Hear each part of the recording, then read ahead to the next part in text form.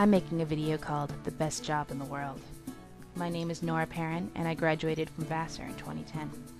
And I think the best job in the world would be to study the cognitive science of culture and how the evolved brain shapes belief.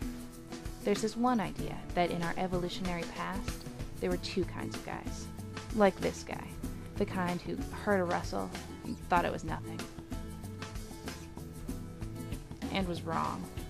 That instinct did not survive evolution.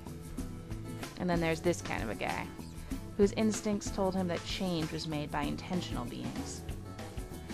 He was sometimes wrong too, and that was annoying, but better than the alternative. So this guy, he's your daddy. He's all of our daddy. And our brains are related to his.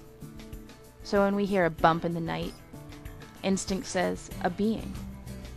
Brains are so cool. But while my ancestors were afraid of tigers, I'm afraid I won't be able to convince employers to give me the job that I want in the cognitive science of culture.